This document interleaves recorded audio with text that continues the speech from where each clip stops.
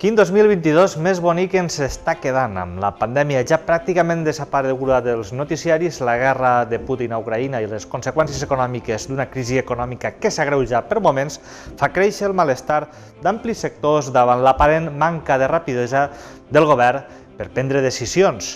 Per acabar-ho d'adobar, canvi radical i d'amagat i sense parlar-ho amb ningú en la política sobre el Sàhara Occidental a canvi de què? De moment a canvi d'un malestar en un dels principals proveïdors de gas, Algèria. Què pot sortir malament? Comencem l'entrellat.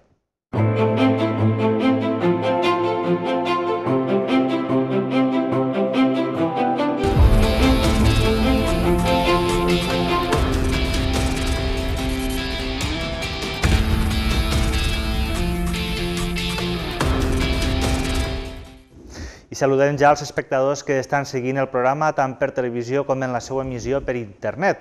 Avui, per parlar de l'actualitat, saludem a Àngels Calleja, i és la portaveu del PSC d'Amposta. Benvinguda, Àngels. Gràcies. També saludem al portaveu de Junts per Roquetes i la Ravaleta, Josep Codorniu. Què tal, Josep?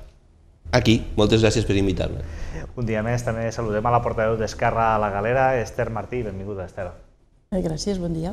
I el regidor de Junts per Tortosa, Domingo Tomàs. Què tal, Domingo? Hola, molt bones.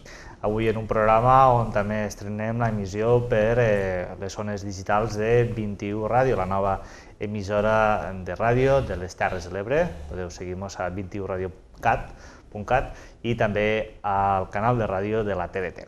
Bé, però en tot cas, he fet ja este apunt una mica d'autobombo, eh, hem de parlar d'una de les notícies de la setmana i no estem parlant de la vaga de transportistes, que ja en parlarem, i també del, de la manifestació d'agricultors eh, d'este cap de setmana, on també va haver una destacada representació ebrenca.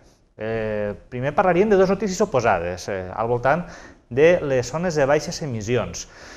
Per el que fa temps que no ha anat a Barcelona, la limitació és la limitació per entrar a la gran ciutat per a cotxes vells. Eh, D'una banda, coneixíem este divendres una informació que apunta a que d'aquí tres anys totes les ciutats catalanes de més de 20.000 habitants hauran de tenir zona de baixes emissions, però no poden circular els vehicles més contaminants, com ja tenen Barcelona o Sant Cugat. A les Terres de l'Ebre esta mesura afectaria a Tortosa i Amposta.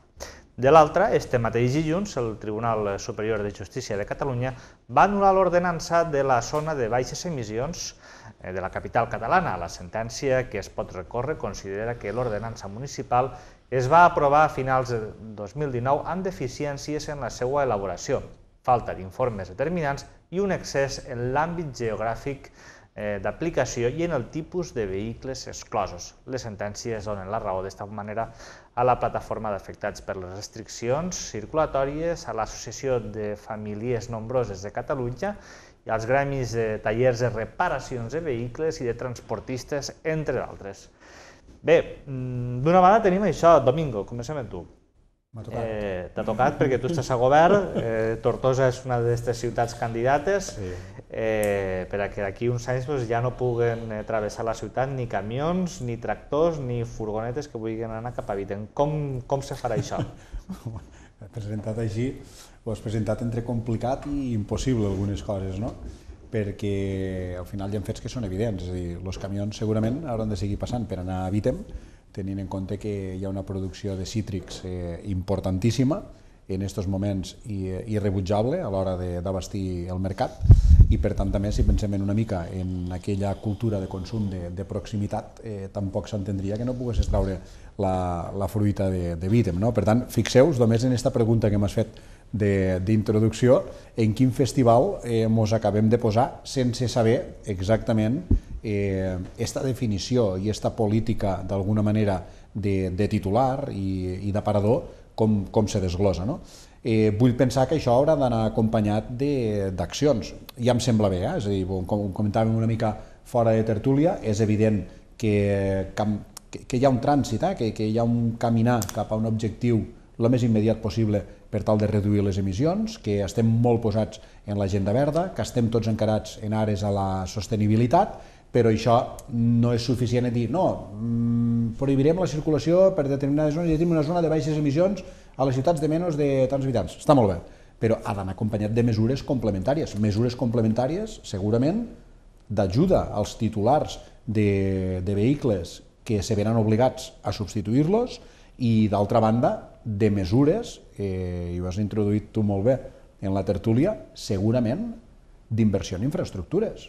Perquè, per exemple, si ha d'haver una zona de baixes emissions en un punt concret de la ciutat, vol dir que aquests camions, per arribar a la seva destinació, perquè les coses s'hauran de seguir transportant, hauran d'anar per algun lloc, doncs potser són mesures que desencallen projectes d'un tercer pont o mm, vés a saber el què, no? Ho dic perquè fixeu que està molt bé, eh? podem posar un cartell, zona de baixes emissions, ens farem la foto, quedarem tots molt bé, però entenc que això està en un procés molt embrionari que s'ha de desenvolupar, és evident que hem d'anar cap a aquestes polítiques i també convivim en la, en la controvèrsia no? de, del, que ha passat a, del que ha passat a Barcelona que en certa manera crec que simplement és un problema de, de, de forma, eh? que, que s'ha d'acabar de motivar i que s'ha d'acompanyar, com diem ara aquí, d'una part d'ajudes, facilitats o una moratòria que a lo millor no ha sigut eh, suficient o no s'ha contemplat bé. Àngels, eh, t'imagines una zona de baixes emissions a Amposta? Eh, no, en cap, bueno, en cap moment. I menys ara en la notícia, eh, com aquell que diu, sortida del fort eh, Amposta jo crec que és que no veig viable que, que pugui ser ciutat per, per com a zona de baixes emissions per la complexitat també de, de lo que és l'urbanització, el que és els carrers, les eh, carrers prohibits, eh, vull dir, per, no pots, eh, jo no veig viable, però és que a més la, la mesura ha vingut també eh, a, arran també i, i a més a més com a com, sembla complementària al que ja eh, se va implantar com a impost de, als cotxes també, que, mm. més contaminants, que eren lo, per les emissions de CO2, que ja pagues per tenir el cotxe que contamina, ja pagues un impost que, que ja s'aplica d'alguna manera a la gent més vulnerable, a la gent que fa molt temps que té un cotxe que possiblement no se'l pot comprar perquè no té els recursos suficients.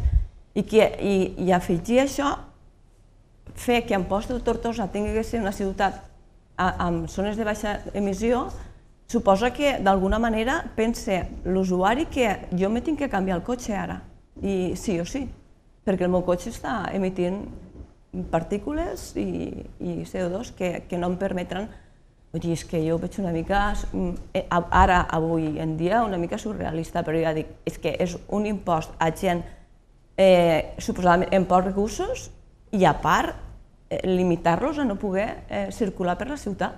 Mm -hmm. Clar, en una gran ciutat com és Barcelona el transport públic està ahí. Eh? En, una, en ciutats menors com són Tortosa o Amposta el transport públic és més reduït i hi ha gent que ha de vindre de municipis de, de, de fora.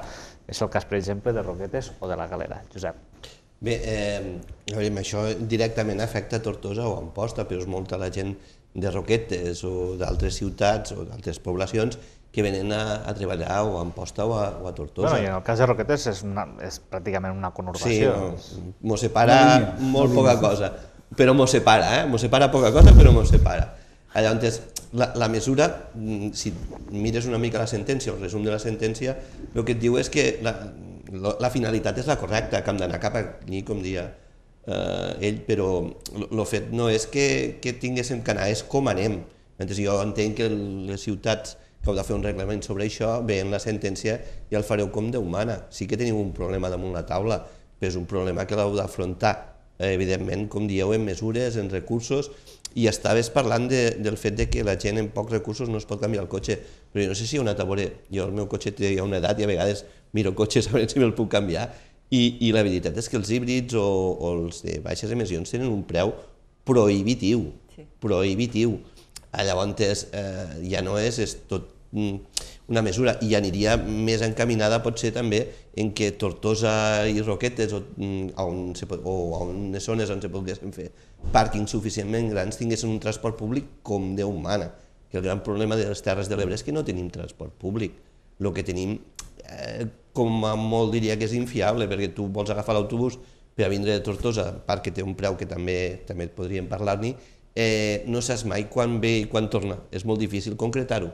I això comporta que per la seguretat de que has d'entrar a la feina una hora o que has d'anar al metge una hora o que has de fer moltes gestions a Tortosa, la tingués que fer en transport privat, no tingués altra forma de fer-ho. Per la seguretat que aniràs, arribaràs a l'hora i sortiràs i sortiràs a l'hora. I això és, és algo que, que s'ha d'arreglar. Hi ha moltes mesures a fer, és un reglament que, que no vos animo, vos animo a que volem prenguéssiu en ganes perquè realment la, la, la finalitat és la correcta. Clar, eh, jo penso que hi han dues coses, no? O sigui, una cosa són les poblacions properes o poblacions com Amposta Tortosa, que com a mínim tenen un, un, un transport, ni que sigui cada mitja hora. L'altra cosa són els pobles, eh, des de Montsià se ve molt a Tortosa, a, per exemple, o Amposta doncs, per hospital comarcal, per fer gestions a l'agència tributària, etc. Vull dir, hi ha dos autobusos o tres al dia. O sigui, és eh, o sigui, la xarxa de transport públic per carretera és, és deficitària per tots els cantons, això per una banda.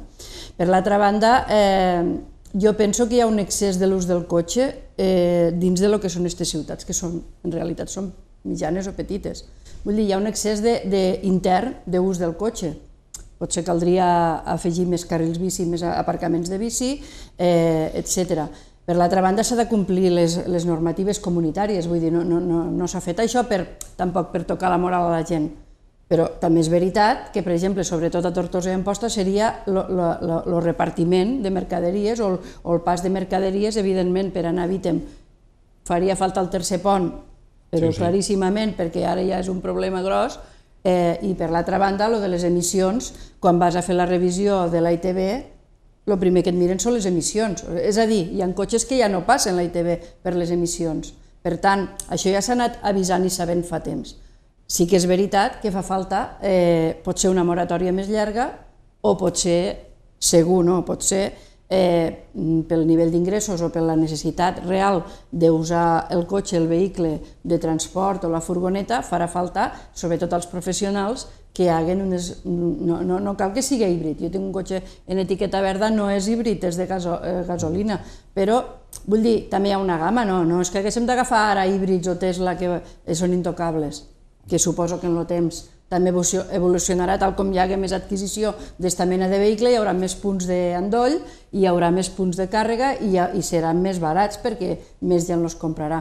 Però encara que siguin de gasolina, eh, el baixes emissions hi ha utilitaris molt barats, o sigui, eh, la gent també ho sap això ja fa temps, perquè és el que dic, hi ha gent que sap que pel, nosaltres tenim una furgoneta de segona mà, ai, de segona mà de, de ja fa temps, vull dir, no de segona mà, que ja fa temps, i ja l'última vegada, saps, allò que ja passaves justet i et van dir, pega una volta i no veus a l'ITV i accelera així en segona per a veure si, si amolla una mica i, i, torna, i passa la part, la part d'emissions. Vull dir que la gent també no, no, no li ha vingut de cop, per tant, hi ha gent que ja s'ha canviat el cotxe fa temps. I per a mi és això, les mesures, però que clar, a poc a poc hem d'anar de cara a les directives europees per la nostra salut, per la contaminació i, per, i, per, i perquè tal com estan els preus dels carburants, doncs, eh, s'haurà ja de mirar en tot això. Àngels, m'havies demanat la paraula, eh, sí, també Josep sí. i Poder Domingo? Sí, sobre el tema eh, queríem de, de, de tenir una moratòria no? per veure com s'apliquen les mesures. De fet, a veure, fins a fa dos dies ens van dir eh, pagueu l'impost del CO2 i tireu milles. Vull dir, pagueu l'impost i ja podeu, aneu per allà on vulgueu. Ens ho han ficat sense anestèsia. L'altre dia va firmar els acords i els alcaldes al, al Palau de Pedralbes, 67 alcaldes de municipis de més de 20.000 habitants. Vull dir, que jo no sé com anirà el tema de la moratòria, però de moment ens han ficat sense anestèsia, així tal qual ha vingut. I des de fa dos dies ja ho dic, era pagar i tu pots tirar endavant, paga l'impost i no hi ha problema. Ara no, ara paga l'impost però canvia el cotxe. No sé fins a quin punt... Segurament l'impost serveix perquè molts de cotxes híbrids ja tenen una gran subvenció, eh, no sé si 5.000 hasta 7.000 euros, Vull dir que bueno, l'impost serveix per alguna cosa, no, no per a fer el que vulguis. No, no, és per a intentar no, no contaminar i ah, plantejar-te comprar un cotxe alternatiu. No, està regulat que l'impost que pagues, o sigui, eh, Catalunya l'ha d'invertir o bé en transport o en acció climàtica sí, sí. o en això, que esperem que ho invertis... És que els diners surten d'algun lloc i surten dels impostos. Clar, però és que, que esperem que ho invertisquen doncs, on s'han d'invertir, o per almenys que està regulat a on s'ha d'invertir aquest tipus d'impost. Bé, simplement dues cosetes. Evidentment que quan te canvies el cotxe no has de buscar el de gamma, però jo t'ho dic com a persona que avui, per avui ja està plantejant canviar-se el cotxe. Entès, eh, no has de mirar, el cotxe no és una cosa que canviaràs cada dos per tres, l'has de mirar en un futur. Entonces, en un futur potser ja has, no has d'anar un de gasolina, sinó has d'anar a buscar-te algo híbrid o algo tal, perquè en el llarg temps eh, potser això s'anirà empitjorant i potser al final ni els de gasolina aniran, sinó que tindrem que buscar altres solucions. I el tema de la tassa, jo crec que, que ens apartem una mica de la, de la, del problema. El problema és, no és si podem pagar, que evidentment si hi ha una tassa s'ha de pagar, sinó si el món pot aguantar el que estem produint en contaminació.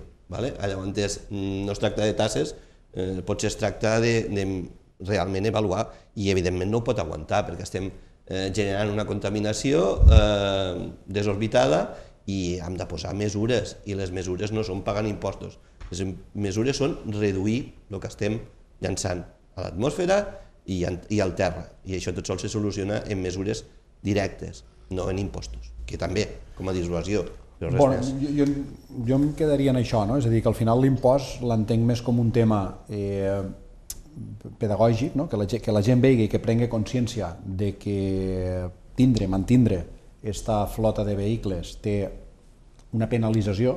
No sóc partidari de que l'impost lo poguéssim justificar per a, com un dret de pago i això, per tant puc contaminar, perquè això és un missatge una mica, una mica contradictori, però penso que sí que és un, una declaració d'intencions per intentar aprofundir en aquest punt de, de, de, de pedagogia, motivació, però al final eh, la, la ciutadania, si, si no percep que les coses són eh, sí o sí van cap a una direcció concreta, tampoc no té consciència plena de, de lo dificultós que és moltes vegades ordenar el conjunt d'allò que ens pot afectar a tots. No?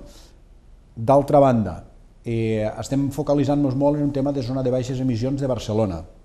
Gran error, gran error. És a dir, Barcelona juga a una altra categoria, i això ho he dit des del municipalisme, fins i tot en les mateixes lleis que apliquen a l'Ajuntament de la Galera que a l'Ajuntament de Barcelona en matèria, per exemple, de contractació pública. És una autèntica barbaritat. Dir, no pot ser. No podem comparar la Galera, Tortosa, Roquetes, Amposta, en Barcelona. És incomparable. I, en canvi, quan se fan determinades eh, lleis, normes, mos eh, posen a tots el mateix sac. Ho hem vist, per exemple, en la gestió de la pandèmia. En la gestió de la pandèmia, en molts moments, mos ha afectat exactament el mateix a nosaltres no? que a l'àrea metropolitana de Barcelona. I dius, però, però això, qui, quin cervell va estar gestionant això? No? Eh, per tant, jo crec que al final, en el tema de la zona de baixes emissions, hem de tocar de peus a terra. Hem de veure, no, no només un tema de, no, és que els vehicles han de ser tants, un parc mòbil de no sé què, bueno, bueno, però és de veure quina densitat tens també de circulació, perquè podem tindre molts de vehicles, però aquests vehicles quan se mouen, a quines hores i per a on? És aquí on segurament hi haurà estos deures a nivell de ciutats en les quals haurem de treballar una miqueta, no? I després no perdre el nord des del punt de vista de dir, sí, molt bé, aquí, des de territori, i, i dic des de territori perquè al final la mesura, en, quan entre, entrarà directament interpel·lant a Tortosa i a Amposta, però afecta a tota una població de pobles del voltant que arriba un moment que, que, que, que no sabem ben bé on estan els límits no? de, de, de cada una de les, de les poblacions i municipis i, i això d'alguna manera mos portarà a, a plantejar de dir, un moment, és que a mi m'agradaria saber l'impacte d'emissions de tota la flota de vehicles de Terres de l'Ebre comparada en, per exemple, els creuers que arriben a Barcelona, per dir alguna cosa. Vull dir, és que potser estem aquí eh, focalitzant que s'ha de fer això, s'ha de fer això, s'ha de fer això, i és urgent, urgent, urgent i urgentíssim, i en canvi resulta que això és un bon anàlisi per a dir, doncs mira, eh, aquesta acció comparada en els creuers equival a dos creuers que arriben a la setmana a Barcelona, per dir alguna cosa. Vale? Per tant, és una cosa que m'agradaria saber. Però bé, això possiblement també podria sonar com una excusa de, de mal pagador, de si vols, de si no vols. Repetixo, hem de fer deures, eh, hem d'anar cap, a, eh, cap a una agenda verda, hem de pensar en futur, en sostenibilitat, i per tant hem d'acompanyar totes aquelles accions, totes aquelles mesures que puguen facilitar aquesta actualització de la flota mòbil de vehicles.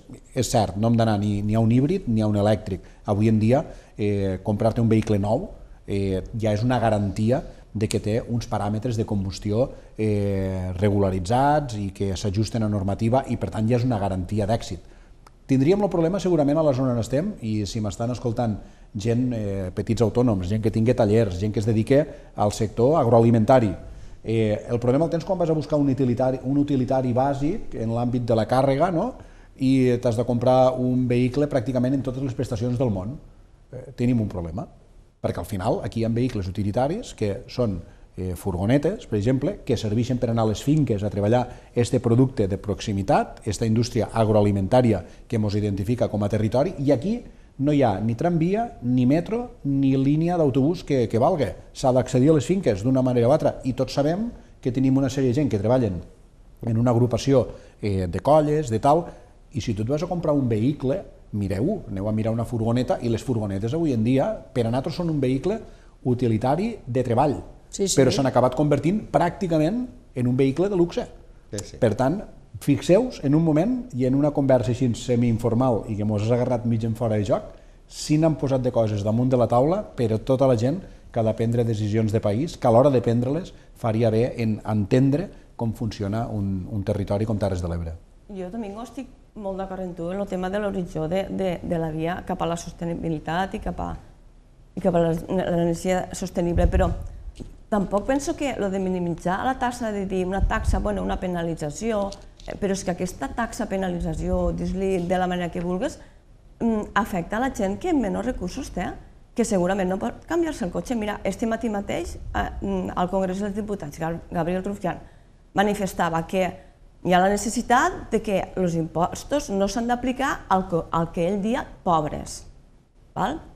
Pues perdoneu, però aquesta taxa no s'està utilitzant. Aquí s'està podent comprar un cotxe bé híbrid que comentava que val molts de diners avui en dia, s'està útil- s'està aplicant a gent que té el cotxe de fa molts anys i que aguante, i que aguante, Però també i, depèn dels cavalls i depèn de moltes coses. Eh? Clar. La gent que té cotxes d'alta gamma eh, paga bastant en el que és impost de circulació, en el que és eh, assegurances i en etc. Eh? Vull dir, està molt penalitzat. Eh, és gradual, no és que estigui eh, fent... El, o sigui, els cotxes contaminen sí, però després també hi ha tota la sèrie... Vull dir que si el que té cotxe d'alta gamma o d'alta gamma o, o amb més cavalls, etc., 4x4, tot això, paguen molt, a part de que, clar, també... De gran cilindrada. Eh, de gran cilindrada, dili com vulguis. Sí, claro, Vull dir, com- com eh, evidentment que no paga igual que un utilitari menut, encara que sigui contaminant o dels antics. Vull dir que els impostos han de ser graduals. I després hi ha una altra cosa per a mi, una altra reflexió que és d'última hora, perquè després sortirà lo d'Ucraïna. Lo, eh, lo de Ucraïna perquè mesclen un munt de coses. Lo, lo tema de l'augment dels carburants, molta gent que no es plantejava Mira, cap de setmana és que dic agafar la bicicleta per una volta per aquí, no agafaré el cotxe per anar-me'n a esquiar. Per exemple, vull dir que el fet quan toca la butxaca eh, també fa que molta gent digui ostres, eh, potser que m'ho estigui perquè per anar a treballar m'ho toca agafar per nassos, però puc fer moltes activitats que potser no me cal agarrar tant el cotxe o anar tan lluny. Per exemple, ho dic per això, perquè quan te toca la butxaca és quan la gent aprecia una sèrie de coses que no és, no és bo que augmente el, el preu del carburant, evidentment perquè està afectant, com hem vist a la vaga de transports, hi ha un munt de gent, no? i anar tots els primers perquè ho hem d'agarrar per anar a treballar. Però ho Ara, dic perquè quan se... de la vaga de ha de ser gradual i sense impostos no es fa res, vull dir, eh, això és lo, Josep, el principi fonamental de Està l'estat de clar que dret, no? sense ingressos no, no, pots, no pots fer despesa, però jo me quedo en el que ha dit ell, de que no per pagar una taxa mm, doncs ja podem fer el que volguéssim. No, hem d'anar... no és pagar la taxa, és pagar la taxa i qui, a qui va dirigir la, la taxa? Mm, Realment doncs, hi ha un reglament que ha d'anar a bonificar i ajudar A l'usuari que té un cotxe de fa molts anys i que no se'l pot canviar. Sí, bueno, està, està clar, però el fet és com se, se canalitza tot, tot aquest sentit. I el fet és que, és el que et dic, vull dir, la mesura té que ser eh, quan ho féssiu, jo crec que tenen que haure pues, ajudes i tal, per a la gent que es vulgui canviar el cotxe, ja no directament en pague un taxa o no. I després l'altre és que no podem posar al sac tots els impostos, el seguro no és un impost. Sí que No, vull dir despesa, despesa de, també. de, depèn de, de moltes coses i l'impost de circulació cada, cada ajuntament fa el seu perquè jo tinc dos vehicles, un matriculat a Roquetes i l'altre perquè era un, un quilòmetre zero aquí Tortosa i és diferent i és més potent el que paga menys perquè està aquí Tortosa que el que tinc a Roquetes que, no, que le, les coses mm, hi ha tantes administracions que tots els impostos no es poden ficar al mateix sac i que evidentment s'ha de recaptar per a fer coses però jo em quedo en lo que he dit abans, el que no ens hem de mirar és el que paguem, sinó és si realment el nostre planeta Terra pot seguir aguantant tot, tot el que estem fent, que les mesures potser són més urgents que ens pensem. Estic en tu que potser dos creuers a, a Barcelona i el contaminen molt més del que generem aquí, i ja si anem a l'aeroport ni en parléssim. Ni en parléssim, però bueno, eh, ha d'existir això per a que hi hagi comerç, per a que els comerços vagin i per a, tal. Vull dir, lo d'aquí que vulguen anar a esquiar, si volen anar a esquiar, no anirà en bicicleta a esquiar. Home, està claríssim. Agafarà Però el vull dir cotxe. que pot anar o no pot anar a esquiar, el que anar a treballar i a repartir hem d'anar si, sí, si, vol, sí. si vol anar a esquiar, anirà a esquiar perquè realment mos matem a treballar i vivim una setmana que pa que esperant pues, aquestes petites coses que al final són les que t'ajuden una miqueta pues, entendre que, que has de fer les coses com has les de fer i res més. Bé, si vos sembla, avancem una mica en el programa. Eh, parlem ara del este creixent eh, malestar social que s'està vivint aquestes últimes setmanes, este cap de setmana. Centenars de milers de pagesos es van manifestar a Madrid, molts d'ells de les Terres de l'Ebre. No parlem ja de la vaga dels transportistes, que lluny d'apaivagar-se creix. Dilluns la ministra Raquel Sánchez anunciava una bonificació de 500 milions al preu del gasoil professional per a transportistes, mesura que no acaba de, convers de els convocants de les protestes treballadors autònoms que asseguren no s'ha parlat amb ells. Cada dia que passa la protesta pren força i també ja hi ha ministres que mostren la seva preocupació pel risc de desabastiment en alguns supermercats. De fet, alguns ja han, super, ja han limitat la venda de productes làctics i algunes empreses alimentàries han anunciat aturades en la producció. Este matí, per cert, Pedro Sánchez s'ha mostrat convençut de que s'assolirà un acord amb el sector del transport esta mateixa setmana per aturar la vaga i ha promès que donarà una resposta equitativa i basada en la justícia social als efectes, diu, de la guerra eh, sobre l'economia espanyola. Per tant, enllaça mm, la, la crisi econòmica, este, este malestar que s'està vivint en el context també de crisi econòmica produïda per la guerra.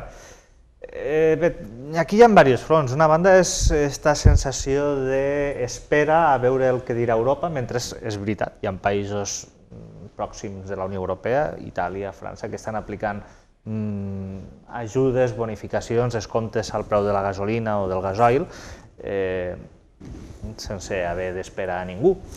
I aquí sembla que esperem i dona la sensació de que no, no, no, com que no es vol parlar d'aquest tema. I després també està el, la qüestió de la vaga de transportistes la setmana passada, com a que es treia importància i se'ls acusava de ser d'un determinat eh, espectre polític.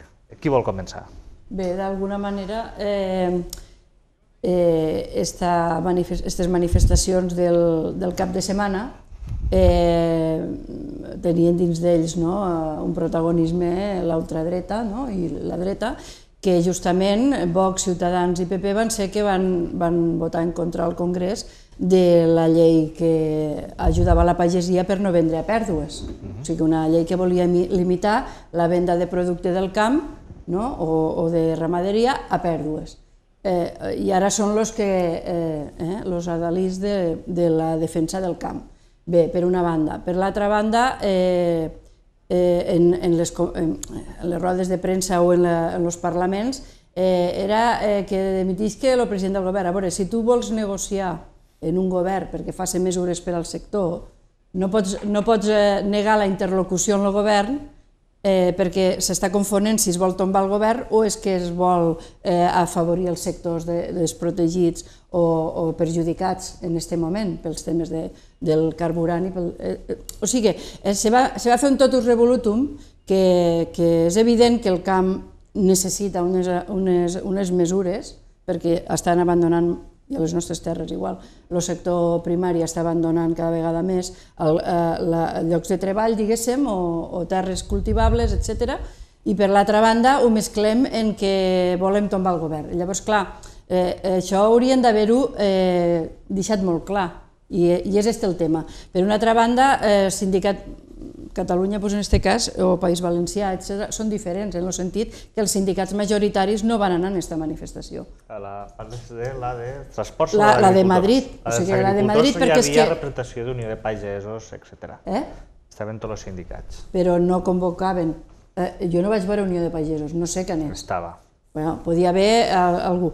Eh, jo el que trobo és que primer que res, quan un fa una vegada, tiene molt clar la plataforma, i en aquest cas va ser eh, buscat una mica eh, per assaja, etc. No? O sigui, sindicats molt, molt, molt alineats en unes idees polítiques.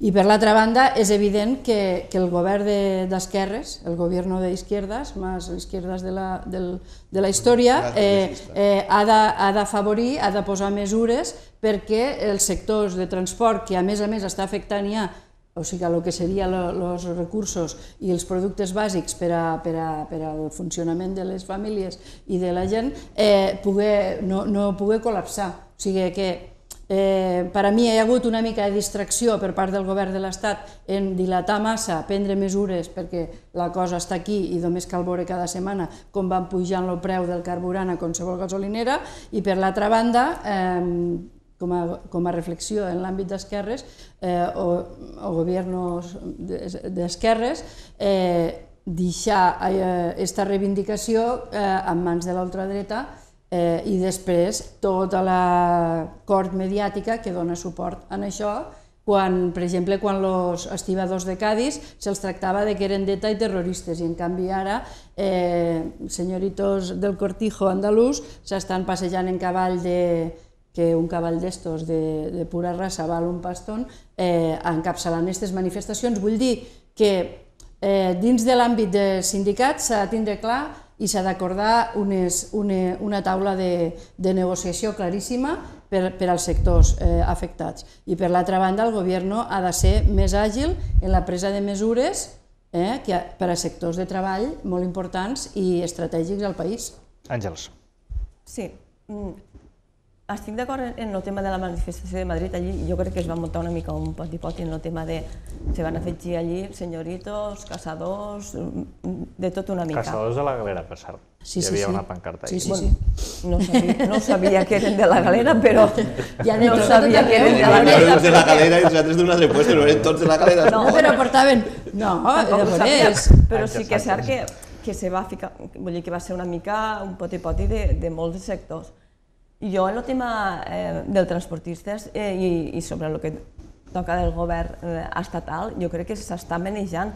Ara mateix eh, ha avançat eh, Pedro Sánchez de la, la reunió per a demà per a la patronal eh, de transports, però que no va a fer una reunió, que va en mesures concretes i que, i que no s'aixecaran de la taula fins que allò no sigui resolt. La, la crisi és a nivell, no és a nivell nostre espanyol, és a, és a nivell europeu. Eh, sí que és cert que Itàlia, eh, Bèlgica, França ha aplicat entre 15 i 25 cèntims eh, de l'impost, l'ha rebaixat en, en, en, per litro, i ja, i ja dius, pues, bueno, ja ha ficat això, i, i, i a Espanya en aquest cas tenim 500 milions d'euros per poder dir, concretar on, en quines mesures ho posarem, però que s'ha fet feina per part de, del govern de l'Estat, jo crec que queda evident i damunt de la taula perquè avançar demà la reunió ja en unes mesures concretes i dir que d'allí no s'aixequen fins que no hi haguen acords, jo crec que això és evident que, que hi ha voluntat d'arreglar les coses. Josep, que veig que fas cares. Bé, sí. A veure, jo, jo entenc que, que hi hagi voluntat està molt bé, però el problema de la ciutadania, jo no parlo tot sol de la pagesia, del transport, perquè tenen raó, però el preu de, de, de la llum, dels carburants, i ens afecta a tota la ciutadania. El problema de, del camp, de les Terres de l'Ebre i de moltes zones del camp de, de, de Catalunya no és simplement la pujada que hi ha hagut ara, és un problema que ve molt de lluny i que cada vegada el que fa és cronificar-se més i tindre més problemes. Per tant, solucions se n'han de buscar i ja no podem esperar-nos a demà. Però el fet del, del malestar que hi ha general, eh, que em diguen, no, és que són els sindicats de dretes, que són les dretes. No, no, vale, si, eren ells els que ho promouen. Però hi ha un problema, no? I què ha fet? Quina resposta hem donat? No, no, el 29 de març vos donaré la resposta no és deixar-ho. Jo el problema que tinc és avui quan vaig omplir el meu depòsit de gasolina. Jo transportista és que potser guanyo més diners tenint el camió parat que no fent un viatge. Uh, jo, pagès, en compte de recollir la mandarina, doncs prefereixo que estigui l'arbre i que es faci malbé, perquè és que me costarà més diners, però aquest problema fa anys que va. Uh, el fet és, és que al no aportar mesures hi ha hagut altres persones que han ocupat mitjançant el populisme, clar, plu i clar, Eh? Vull dir, han dit, jo vos arreglaré el problema, carreguem-vos el govern i vos carreguem el problema. Quan estàs eh, fora del govern i no has de prendre decisions, és molt fàcil dir, vos arreglaré el problema. El problema és quan estàs a govern, i això també ho entenc. Però jo entenc que una mica del, del, desànim o descret que ha tingut és el fet de que en el moment donat no pres mesures. Diem, no, és que països d'Europa han fet això. Han respost a la ciutadania. Aquí no s'ha respost. Ni el govern més progressista d'Espanya. Però no és ara, és que ja fa temps que no respon.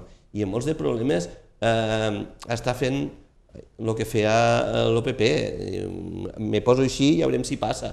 Tirem el dia, el dia 29 perquè durant aquest temps jo, jo el que vull que tinguessin clar és que el que va fer el govern socialista al baixar l'IVA de la llum, diu, jo et baixo el tant per cent de l'IVA, però claro, si el preu de la llum va pujant, com és un tant per cent, jo la recaptació és la mateixa.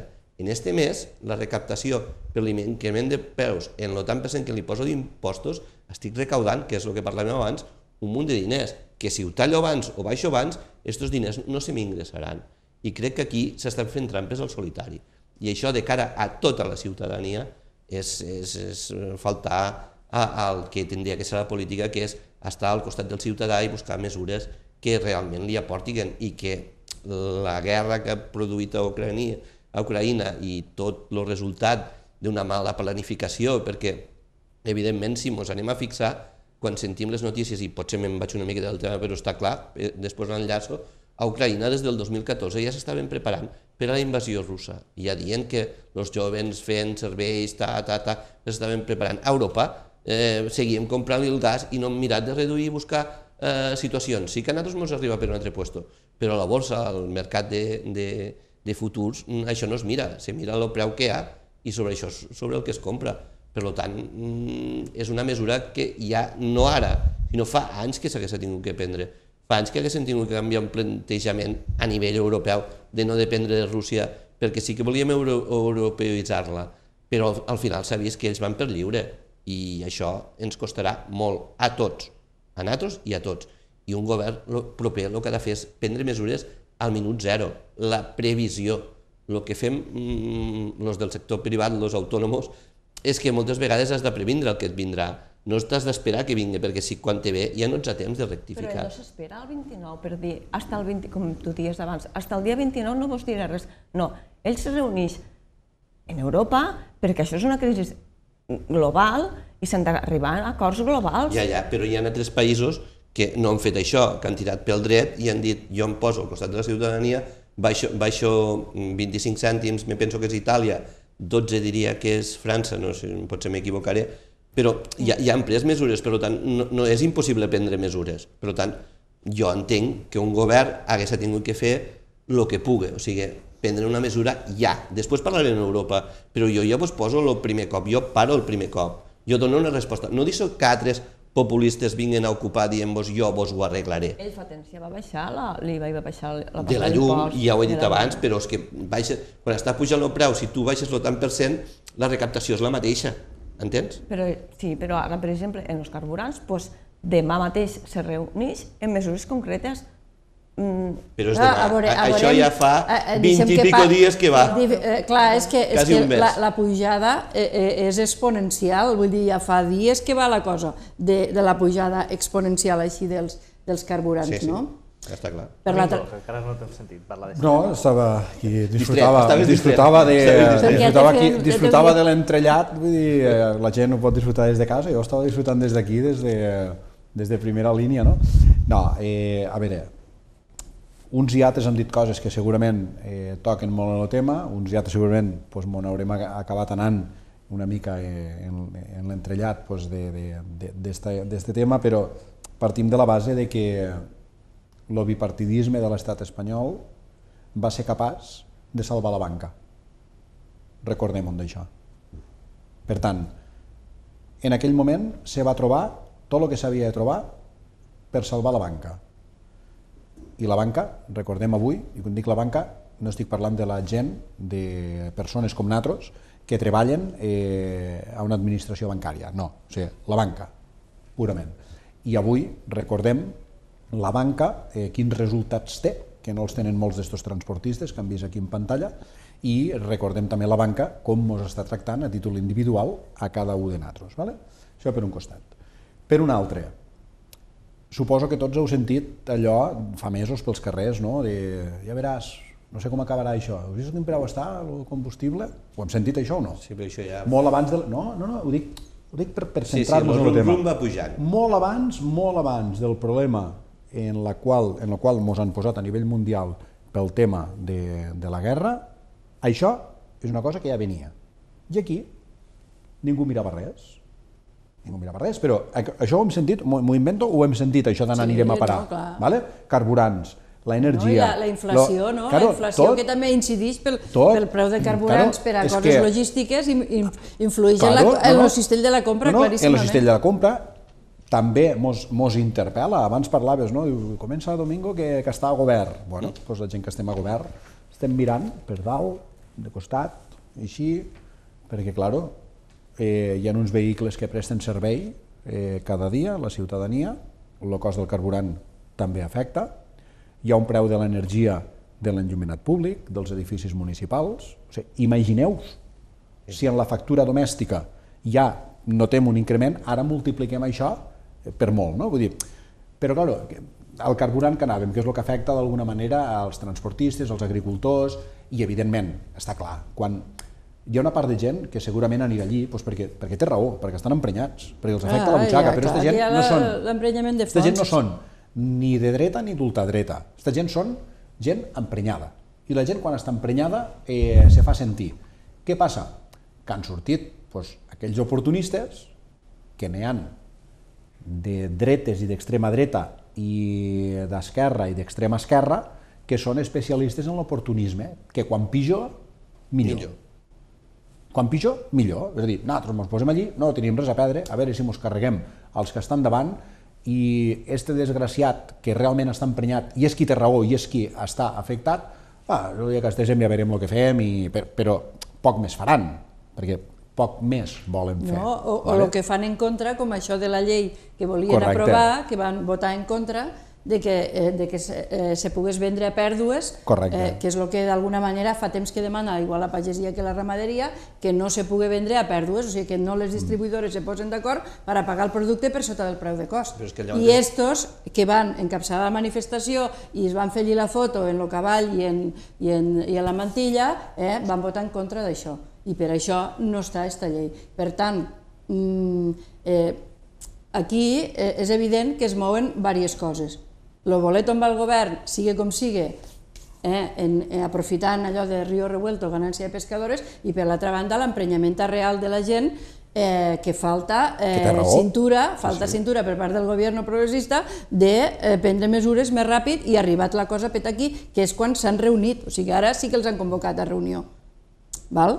Ara, però vull dir, eh, este matí per la, per la ronda litoral, mm, anaven a peu mm, els, els, els, els transportistes a peu, que també estava bé perquè així no, no hi ha contaminació, eh? Eh, mm, per la ronda litoral de Barcelona i a, fins a Zona Franca, doncs, Sí, mira, també es veien per afegint-se Això és alguns sindicats alguns sindicats més majoritaris catalans també, que no havien entrat en este joc de la manifestació i tot això, perquè clar, és evident que la, el problema de fons està allí i mos surt més a compte tindre el camió o la furgoneta parada que posar-nos a treballar perquè anem a pèrdues.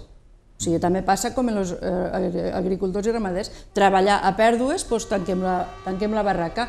Eh, me penso que ja hi ha, eh, dient que a Mercabarna eh, lo, només han treballat ahir el 20% dels camions. Si entraven 4.000 camions, perdó, a Mercabarna, no, al port de Barcelona, si entraven 4.000 camions al dia, m'han entrat només el 20%. Això vol dir que en poc, en poc temps eh, hi ha desabastiment. En alguns sectors ja és, és notori, però hi haurà desabastiment. Clar, pff, saps? No, no, no s'ha de crear alarmisme, però e- és, és un moment d'alarma i, i cal No, tindre no, cintura. Des, del, des d'allí n'hi ha... No s'ha de crear alarmisme, però sí que hem de compartir que, que, que, que tenim una preocupació i la preocupació que tenim és que, evidentment, aquestes eh, parades acabaran, acabaran portant eh, con, conseqüències, vull dir, no, no, no hi haurà un tema d'alarmisme, però sí que portaran conseqüències. Eh, és suficient o és insuficient estos 15 cèntims o 20 cèntims eh, que s'està parlant? D'entrada jo diria que és insuficient totalment. Per què? Perquè precisament estàvem en, estàvem en un preu ja del carburant molt elevat. Només ha fet falta la crisi de la guerra per allà dir, mireu, això per aquí ni parlar-ne. No? Per tant, les mesures crec que hauran d'anar molt més enllà dels 15 o 20 cèntims que se'n parla. Dit això, tenim un problema, s'ha d'abordar, estic convençut que entre tots s'arribarà a un acord, no a una solució. Entre tots s'arribarà a un acord. Per què? Pues perquè s'ha de moure fitxa, s'han de posar recursos econòmics per tal de complementar eh, el que s'hagi de fer i per un altre costat, evidentment, tota aquesta gent que, que està parada mm, no pot estar in eternum parada. És a dir, al final s'ha de moure perquè és tota una economia que va detrás, totes unes distribucions. Paguen per tant, autònoms, paguen... Són moltes coses. Per tant, autònoms igualment, paguen... per tant, no es poden permetre el luxe d'estar parats eh, un mes i mig, dos mesos a veure què fem. No, ni se ho poden permetre ells, ni penso, i això és una cosa que sí que ha caracteritzat sempre, al sector del transport i en aquest cas a la pagesia. Eh? Eh, són conscients de que se pressionarà, eh, se negociarà, però són conscients de que són un pilar bàsic per a la ciutadania. I per tant, per això dic que al final s'arribarà a un acord, no una solució, a un acord. Per què? Perquè totes les parts estan obligades a trobar aquesta solució. Clar, aquí en aquestes imatges estem veient camions que, que principalment són de, de petits autònoms, de gent que té el camió i, i de la seva empresa i el- la gestiona ell, autònoms, bà- bàsicament. No, no, no s'han unit, en principi, les, la patronal, eh, les grans empreses del transport, però estem veient com en qüestió d'una setmana eh, ha afectat eh, greument a altres àmbits eh, que depenen del transport, pot ser, per exemple, el transport des de granges fins a centres de producció, el tema de la llet, el tema dels cereals. Eh, mm, vull dir, po- potser esta manifestació que a principis de la setmana passada se li restava importància, ara també estem veient en aquesta pressa que comentava Àngels que que bé, que ja li estan veient una mica les orelles al llop i que això pot mm, crear més problemes dels, dels que ja tenim. Per altra banda, penso, el que passa que, clar, això són mesures que s'haurien d'haver pres. Pot ser un... Nosaltres, per exemple, el sector de l'oli, no? el sector de la llet i això, sempre han dit Eh, o sigui, podria ser una oportunitat per ser més autoabastibles l'estat espanyol o Catalunya. És a dir, els pagesos i els ramaders han de, han de, com qui diu, llançar el producte perquè és, és d'allò, i per l'altra banda ens toca importar molt de producte. I és ara, este problema és, per a mi és estructural, no és només de la guerra, sinó agreujat per la guerra, però vull dir, serà un problema que durarà temps, vull dir, suposant que la guerra s'acabés d'aquí un mes, eh, mm, eh, Ucraïna no aixeca el cap mm, tal com, tal com estan anant les coses, eh, Rússia quedarà aïllada i, no, i, i, i vull dir, els principals abastidors, per exemple, de cereals, per al tema també de la ramaderia, etc i per a, molt, i per a molts de productes alimentaris, eh, s'ha de canviar estructuralment la forma de, de la PAC, etc. Vull dir que també molts eh, agricultors i ramaders eh, havien de parar la, la política agrària comunitària un any o dos i això podria ser una oportunitat de comprar producte i que el producte d'aquí fos el que abastís els supermercats en més eh, percentatge que no ho està fent ara. Per tant, pot ser una oportunitat, des d'aquesta dificultat pot ser una oportunitat, però clar, això vol dir mesures i cintura ràpida. Àngels, Josep? Jo, Àngels. Sí, sí, Àngels. No, no, sobre el que comentaves de dir, que dius, no?, que, que al veure esta manifestació així tan multitudinària com a que s'ha vist les obres al llop i, ha, i ha pres... No. Jo crec que, que, hi ha, lo, que és un problema real i que, i que a, a, a, a àmbit de moltes activitats ho tenim tots molt clar i, i que jo no crec que per una vaga multitudinària s'hagin començat a, a moure fitxes. Les, les, a veure, hi ha un, hi ha un malestar també per part de del govern de l'Estat i per això d'alguna manera el que està intentant és poder ficar, diu, no dius solucions, dius acords, doncs seran acords, però per lo menys que una part i l'altra quedin en acordar. I, i, ja us, i torno a repetir, la, la, estava agendada la reunió per al divendres. No és que s'hagi fet ara en la patronal. Clar, però- Estava agendada per divendres. La reunió s'ha d'anar ja amb mesures preses. És que, és que van mesures concretes demà. No, no, jo dono la confiança, però vull dir que se va una mica tard. No, això no ho dic jo, ho diu molt, de- se va tard. No, però que com una mica que, o a la millor ha sigut interpretació meva que deixaves damunt la taula que com a que ara corrents una, una reunió amb la, amb, amb la patronat del transport, el que te comentàvem és que la, estava agendada la reunió per divendres i Pedro Sánchez l'ha avançat a demà i que porta mesures concretes i que a partir de demà coneixerem quines mesures s'aplicaran per a poder solucionar el problema. No, no, sí. Josep? Sí, bueno, jo mm, he comentat el tema de que, de que pues és un problema i quan tu no aportes solucions, el que et fan... Jo no sé si el que ha fet Itàlia de rebaixar 25 cèntims o el que han fet altres països europeus és solucionar la totalitat del problema, potser tens raó i tindria que ser més, però com a mínim ja veus que han pres una primera mesura, després se'n van a negociar en Europa, perquè ells també pertanyen a la Comunitat Econòmica Europea, i entenc que una mica el govern més progressista de, de l'estat espanyol eh, és el que s'ha tingut que fer, prendre unes primeres mesures i després tal, anem tard, anem tard, anem tard, anem tard i el que no podem fer és sempre anar tard. Eh, entre este interpàs, eh, el problema del ciutadà, del transportista, del pagès, de tots, perquè és un problema generalitzat, és avui. Mm, demà també el tindrà i potser demà li arreglarà, però els governs el que han de prendre ser valents i, i fer decisions en un moment determinat. Jo entenc que mm, s'hagués tingut que prendre una mesura com a mínim eh, de dir eh, jo estic aquí en Batros, estic a la trinxera, rebaixar o prendre, pot ser per números macroeconòmics, no ho podem fer, però com a mínim explica-ho, perquè és que si no expliques per què tens el problema i per què el deixes fent-se gran sense prendre una mesura quan els del teu costat l'estan fent, eh, el que passa és el que ha passat, que hi ha gent populista que en un discurs totalment populista eh, s'apropien de la queixa, una queixa que realment existís, un problema que realment existís i el que has de fer com a govern és donar-li solucions. Potser no... Tu dius que un acord no una solució, però si arribem a un acord tu i jo, al final és la solució del problema. Del problema no, del possible. conflicte, del, no? del Eh, conflicte.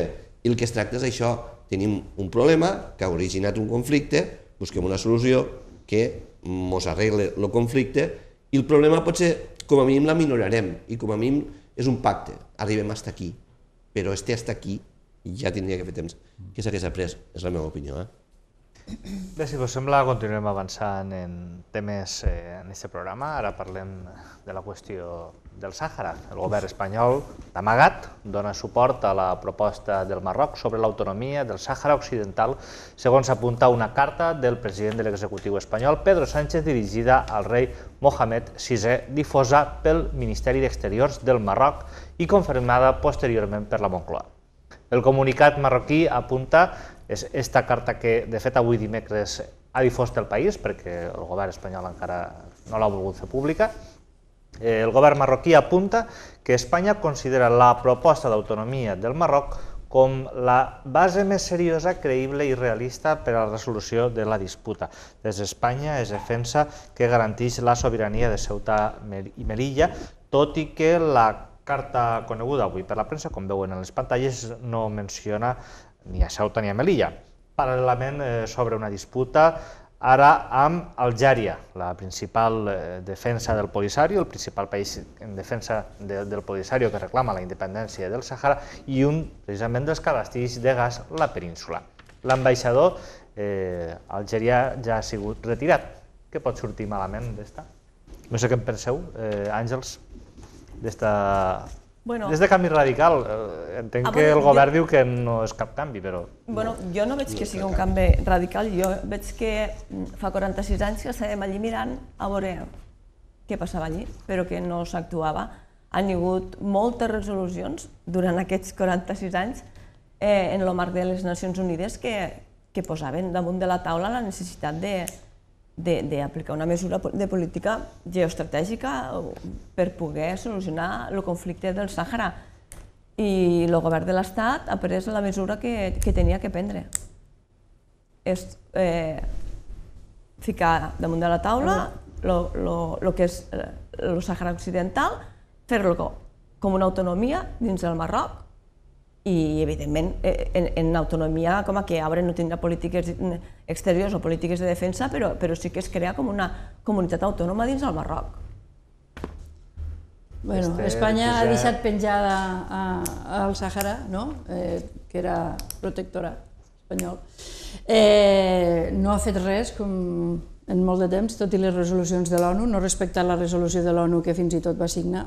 És a dir, eh, el tema és que el Marroc és el gendarme no? de les tanques de Ceuta i Melilla i de les pasteres que arriben. No? I llavors, eh, vull dir, no ho he dit jo, eh, ho ha dit ministre, no? és que ens interessa que el Marroc reforci la, la qüestió de, eh, fronterera, vull dir, claríssimament. Però clar, què passa? Que no es pot tindre totes les gallines, o sigui, tots els ous de les gallines en dos mans. Perquè, clar, què passa? Que això ara perjudica el pas del gas cap aquí, que el Marroc primer havia tallat perquè no deixava passar, perquè Algèria dona suport al Sàhara.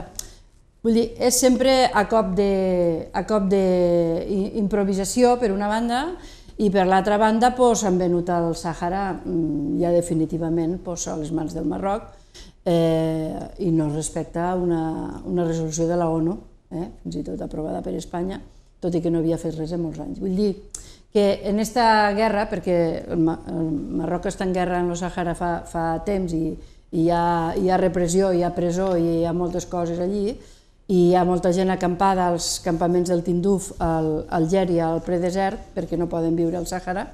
Eh, no importa, com no importa la gent d'Ucraïna, i, i és este model de, de geoestratègia mundial no? que on manen no? des de diferents llocs molt llunyans el que hem de fer la gent que estem sobre el terreny. I en aquest cas del Sàhara és claríssim. Josep. Bé, jo, és que a mi no, no sé què vos estranya ni què vos sorprèn com un, un govern o un partit polític pot apoyar l'autodeterminació d'un territori, d'un país eh, proper, i quan aquí, en el 155, va reprimir l'autodeterminació d'una part d'Espanya, de, de Catalunya. Eh, doncs és normal, vull dir, estan fent, estan sent coherents en, la seva, en, la seva, en els seus fets, en el que han estat fent aquí. Vull dir, més coherents no poden ser. Com poden defensar l'autodeterminació del poble saharaui quan aquí a Catalunya no estan, sí que posen una taula de diàleg i tal i qual, però una taula que me penso que se deu estar fent, perquè vull dir, no...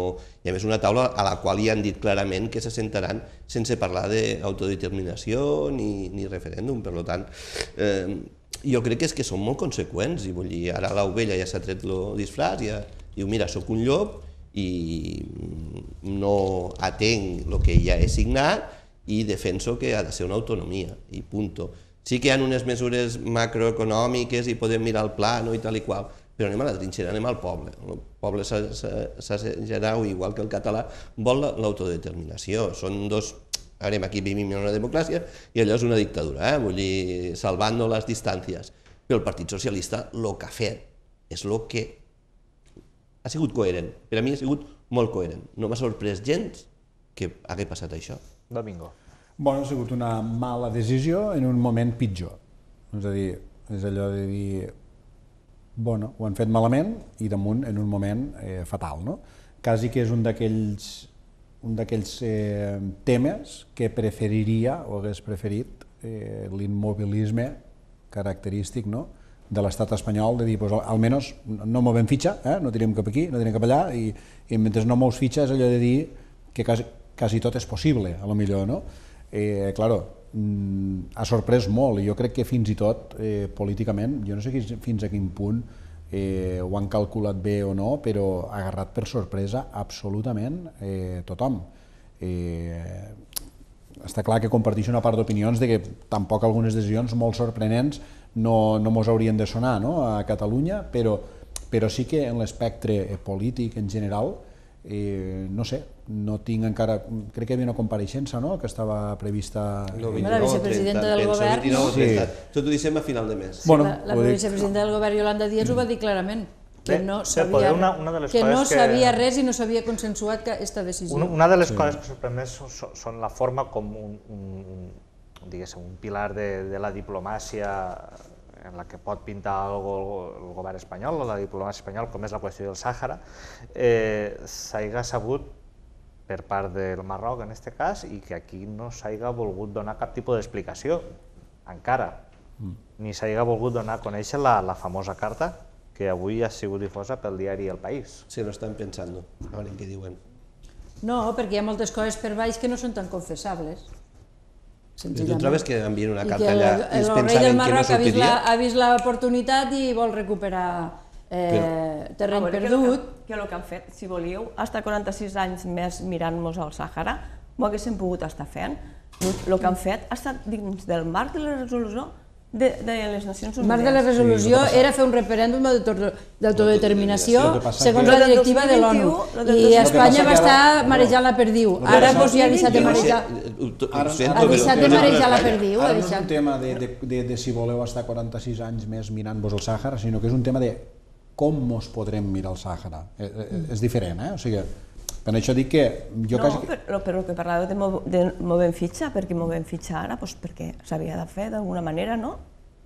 O No sé. podíem estar 46 anys Sí, més. però la- Una cosa que mos explicaran i sense perquè s'havia de fer. És a dir, Però la, el la moguda de fitxa eh, que esperaven era l'altra, o sigui, cap a l'altre cantó. Però, però el fet és este, és que primer no n'entenem de les conseqüències. Jo no vull pensar que es pensaven que aquesta carta quedaria allí un calaix i que no sortiria a la premsa ni que hi hauria tot el que ha passat. Vull dir, crec que a vegades penso, vols dir que no és una mica una cortina de fum per que hi hagi un altre tema per a parlar, però és que estan generant un problema sobre un problema. I, i el fet és, surt davant, negocia-ho, parla-ho en els cas de parlar-ho dels teus, per a que tots estiguin convençuts, perquè inclús dins del mm, PSOE hi ha veus discordants, eh, com a mínim, i, Hi ha i, una i ja famosa estic foto, en ell, vull dir, no hi ha és una el moment famosa per a foto prendre de aquesta Felipe decisió. González, no?, que va sortir vestit de saharaui En lo que- en lo que està eh, passant. fa uns anys, fa bastants anys. En la que està caent, tots el faltava esta, ja apaga i vámonos. Eh, Les mesures que està prenent el govern més progressista d'Espanya no crec que... I, I el problema és este, és que després diem, no, és que la, ve la dreta, ve la dreta. Bueno, vale, ve la dreta, mm, desgraciadament, però és que ve la dreta perquè li, li estem deixant vindre, perquè no donem cara als problemes. Jo no veig així, de totes maneres, i menys eh, la comparativa que has ficat, i perdona, eh, que no mos estranyi res de que el govern no vulgui eh, que sigui que l'autodeterminació, quan aquí a Catalunya, a veure, aquí hi ha un discurs que el 155 ja, ja, vull dir, ja està passat i repassat. Perquè, Sí, sí. Està- un perquè, no, a veure, no, feu no, el que... Està passat i repassat per en aquells que només van firmar. Home, A teniu la un gent que li mantra, van- no, a teniu la un que li mantra, el no, 155 que no, fa no, 17, 18, 19, 20, 20, Àngels, en 5 això anys fa que el porteu, no, no. eh? A la gent, que, Perdona, a la, perdona. a la gent que li van pegar garrotada i va sangrar, eh, aquesta gent no li podem dir que el No, i 155 competències no. de Generalitat no, que no. encara no han tornat Per, perdona, al i, i 100%. no sé si ho saps, No. però a mi em van assentar a un banquillo i em van, i em van com a imputat per l'1 d'octubre. Per tant, per a mi el 155 mm, sí que ha passat, és allò, sé que han de tenir ponts, molt bé la taula de diàleg, però que tenia que saber Però què és és que- diàleg. però- Però, però en tot i això és que el que has d'entendre, i, i crec que el meu discurs ha sigut coherent, vull dir, un partit polític que eh, no vol que un, una part del seu país mm, tingui un referèndum d'auto- d'autodeterminació, com ha de promoure este mateix referèndum a un altre país. No és vol, que, no vol, mm, no vol perquè no, no, hi ha cap, no hi ha legalitat per poder-se fer. Ah, no, la però- legalitat qui la fa? A veure, Però va, la- les lleis és- qui les fa? Bueno, a veure, A veure, que- no, no comencem en No, això. no, Eh, no, doncs, no entrar en resum, aquesta polèmica. Una però- frase, un resum. Eh, com va dir Junqueras, que és historiador, Espanya històricament no complix mai els seus compromisos, Pues ni els no seus recordar pactes, ni els seus acords. Mai, mai, mai. Pues pareix que avui per avui no bon recordar Mai. això. I el Parlament tampoc no, no va complir en el seu dia el que es tenia que haver complit. Per això d'aquí les conseqüències que van hi haver, que total el 155 és un article que està a la Constitució espanyola i es pot aplicar. Però del que posa l'article al que es va fer, me penso que són quatre, dos, dos paràgrafs curtets i crec que se'n van anar, evidentment que el Constitucional no ho dirà, perquè, com no, però, però lo van utilitzar com van voler. Evidentment no va, no va ser el PSC, va ser un altre partit, però va ser apoyat en tot moment, se va posar al costat dient Espanya és una i tal, i, i punto. A veure, mm, jo no, no, critico la mesura, vull dir, és el que pensen, i, i a mi, mm, evidentment, me va afectar directament, potser estic una mica massa... Però el que també entenc és que com un partit pot defensar un lloc una cosa i un altre, i a casa seva no Perquè- aplicar-se la perquè mesura. no ha complit Per mai tant, veig- acords. Jo no trobo que és comparatiu, eh? ah, Jo no ho veig comparatiu. no? Bueno, No. Pues, Bueno, segurament la qüestió està del Sàhara, que és al final de lo que estàvem parlant, i, i, i de com s'ha canviat eh, d'opinió en d'aquestes maneres, perquè aquí poder la qüestió no és eh, que hagi canviat d'opinió, que bé, No, pot ser potser perfectament... és que ha dit realment el que pensava. No, no, no, el que vull dir és que eh, és perfectament lícit que se canvia d'opinió, vull dir, moltes vegades ha passat, no, no passa res. La qüestió són les formes en les que això s'ha eh, donat a conèixer. Que de fet encara ningú ha sortit a dir ho hem fet eh, per, per això, per això i per això, només el ministre, quan ja se sabia pel Marroc, que és lo, lo estrany, vull dir, és lo que la gent segurament no entén, aquesta Perquè hi manera ha de un fer canvi de les cromos coses. important i no, segurament no molt bonic d'explicar. però el fet és que canvia els cromos en tu, però l'altre que estava jugant la partida em diu jo agafo els cromos i me'n vaig. Això és el que passa Vull dir que mm, realment les conseqüències, jo suposo, vull pensar que les han analitzat. Jo és el que deia, eh? És que, mm, a No veure, sé. me, me poso bé en tu però m'enfado en ell i ell és el que em dona la gasolina i tu ets la que me la deixes passar i jo no sé fins a quin punt. Eh, a mi la veritat és que, ja et dic, torno a dir, no m'estranya res, però com ha dit ell, és una mesura que no és el moment de... Crec jo que no era el moment adequat. Després de 40 i pico anys en la que està caient, ara, fer públic això, s'han equivocat. Jo, és la meva opinió. Bueno, a veure què ens expliquen la setmana que ve. Però és això, ja vos... Sabrem... No, no, és a dir, que al final això s'haurà d'explicar, vull dir, perquè al final és que això pot acabar provocant també una sèrie de tensions dins del propi eh, govern d'Espanya És que- que, que a veure què passa, perquè, claro, al final eh, no pot ser, no, aguantem, aguantem, perquè si no, bueno, si no que sigui el que sigui, vull dir, que decidisca la ciutadania, però jo crec que hi haurà eh, partits que recolzen eh, determinades accions per la governabilitat de l'estat espanyol que s'hauran de mirar molt bé eh, què fan o què deixen de fer. No, no, a veure, eh, me, sor me sorprendria també que alguns que són els que acaben donant este component del govern més progressista de la història eh, seguisquen aguantant carros i carretes quan resulta que han de tragar en rodes de molí. No ho sé. No, no ho has vist avui. Eh, Bueno, no ho sé. Hi ha, hi ha un portaveu No que, que ha dit tres vegades esquerra, esquerra, esquerra. Pues no el mateix sé. que fa no sé quant de temps demanava no sé què de 155 monedes.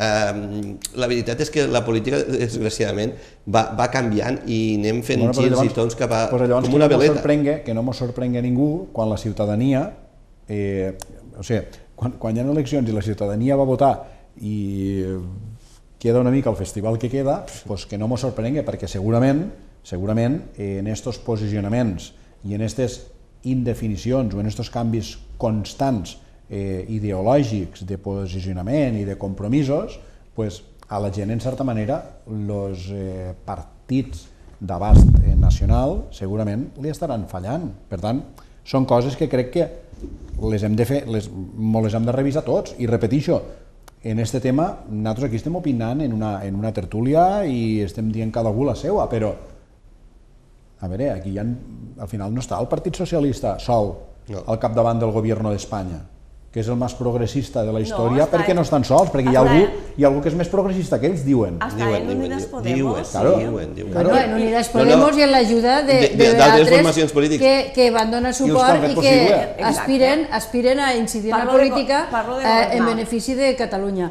Eh, crec- eh, és un problema eh, històric del PSOE que no es pot ser de dretes d'esquerres i tot el contrari. Vull dir, M'entens? Vull dir, o, o ets d'esquerra i fas polítiques d'esquerres i, i, i, i acordes, i acordes i consensues, o, o que volem tornar al bipartidisme d'abans, que és o PP o PSOE, no? Bueno, Ahí. però esta és, esta és la, la base del govern espanyol, lo, de la transacció que es va fer, el bipartidisme, tu aquí i tu allà, sense, el problema de l'estat espanyol és que Espanya tiene un laberinto molt important i que, i que, bueno, pues que el que pugui governar PP en Vox eh, ja s'ha assajat i podria ser que fos general. Pues si I clar, pareix- llavors sí que ja el 155 quedarà eh, com una... Ja ha quedat, de ja ha P5 quedarà, Ara, saps? si quedarà Esther, com una parlem- assignatura de P5. Si t'apareix, Esther, parlem dels nostres laberintos. Sí, sí, sí, sí, sí. Uf, que també en Ja, tenim. però clar, ja que hem tocat Digues, això, doncs no ho toques. Ràpidament. No, comentar-li Domingo que, que, que havia no, que, el, que el PSOE que estava governant i que estaven una mica sobtats i a veure què, què és el que serien capaços d'aguantar els socis de govern de carros i carretes. Eh, diu, i, tu, i me lo dices tu, que, que al Parlament de, de Catalunya esteu a Esquerra i Junts, que és que no sabeu pegar en pegar-la. No, això No, això- Ah, això no ho has de dir. Perdó, perdó, que és el PDeCAT. M'agrada que em faci aquesta pregunta. Perdona que lo del PDeCAT, que m'ha quedat així una mica com a... Però com ho has dit tu, però m'ha vingut així el cap. No, en este cas... Partit genuïnament tortosí al 100%. Vale. Bueno, després ja veurem per què en compte. A partir Saps Per la d'aquí... Diputació i pel Ja Consell ja veurem per, per Ja. què on decanta. Ja. A partir d'aquí ja en parlarem. Que en els canvis de nom i tot això arriba un moment que, que Sí. m'he m'he perdut una mica, No, però, sí, però això és Josep, això és de Josep. Vale, pues que, que això, no? que, que si realment al govern de l'Estat eh, hi ha eh, friccions pel tema i que tinguin que aguantar o no tinguin que aguantar, pues que eh, a vegades també va bé mirar-nos una miqueta a l'espill i veure si al Parlament de Catalunya, governant Junts i Esquerra, pues que potser també, també qui ha d'aguantar carros i carretes i qui no. Les coalicions eh, són difícils. jo, Bueno, jo, jo, és jo és penso, més fàcil jo, la majoria jo penso que absoluta, estarem veritat? parlant d'un problema a nivell estatal que ha produït el govern d'Espanya, no, no d'un problema de Catalunya i que ha produït el, No, no, és que el com govern de Catalunya. també- com volem no, és també dir, del Sàhara i tu més, que és el que m'estàs dient, i tu més. Però, però, una, però una qüestió, a veure, els governs de coalició, que és el que deia Esther, estic d'acord, són, són complicats, però, ojo, jo, per exemple, en experiència municipal he estat en majoria absoluta, he estat, he estat governant Esquerra Republicana, estem governant amb el PSC, i de tot he intentat aprendre al màxim, i si em diguessis que, que t'agrada més, pot ser contra tot pronòstic, diria que m'he sentit còmode de les dues maneres, i no hi ha res que m'agradi més. Perquè al final, quan tu te poses a treballar per un objectiu, que és governar i gestionar, doncs passa per cedir, per acordar i, evidentment, per tragar algun sapo. Però, ojo, lo del Sàhara no és un, sa- tragar un sapo, eh? Lo del Sàhara és un tema d'un abast sí. absolutament Bueno, quan descomunal. surti el govern de l'Estat, Però per ai, això el dic, però per això dic, per això dic eh, jo puc entendre el posicionament del PSOE, lo puc entendre quan l'expliquen, perquè alguna cosa diran, i el, que el puc entendre no vol dir que ni que m'agrada, ni que el compartisquen, ni que els doni la raó, però com a mínim si s'expliquen podré veure el que diuen.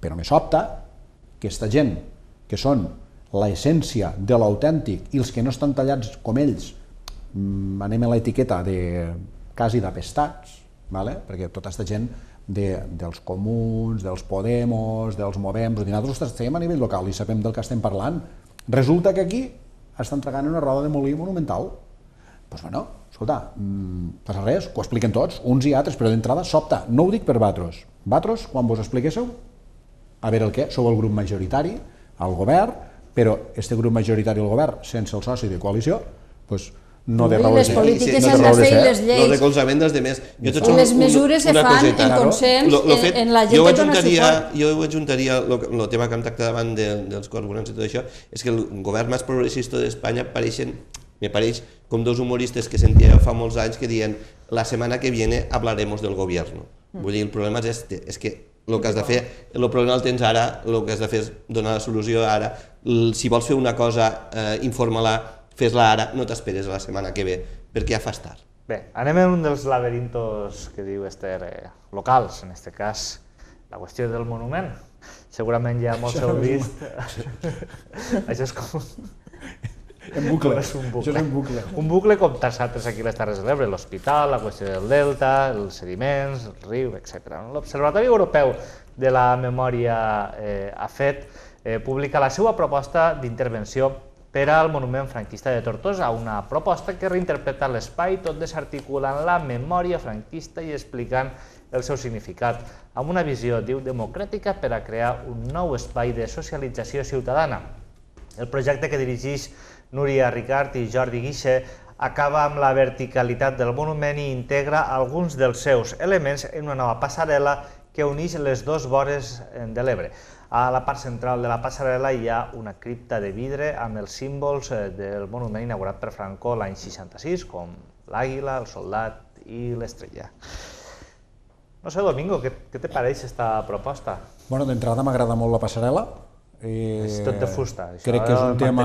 quan després plou. de manteniment mos tocarà treballar una mica, no, però bromes a banda, realment eh, el fet de la passarel·la d'alguna manera eh, ve a validar aquella petició que des del minut 1, en quan la Generalitat eh, inicia el procés per la retirada de, del monument a la batalla de l'Ebre, sabeu que en tot moment vam dir que, que nosaltres el que volíem era que es mantingués eh, el pas del riu i que s'aprofités, en aquest cas, la pilastra, la columna, per tal de, de donar aquesta entrada i eh, recuperar aquest espai en forma de passarel·la peatonal del que havia sigut l'antic pont de la Cinta, que s'accedia directament al carrer Doctor Ferran i a la part de, del casc antic.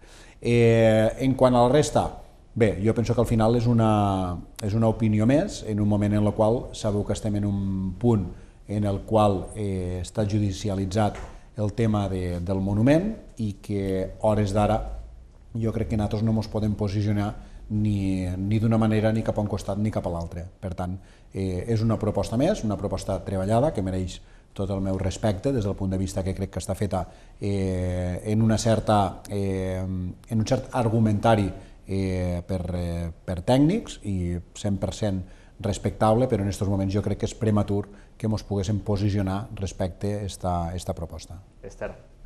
Bé, jo estic d'acord amb la passarel·la.